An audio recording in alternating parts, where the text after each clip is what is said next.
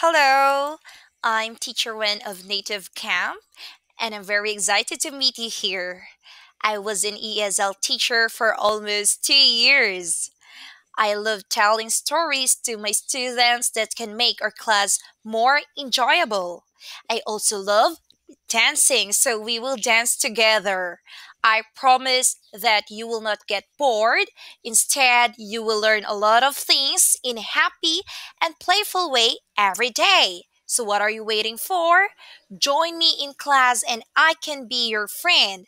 Let's have fun while learning. I'll wait you there. See you in my class.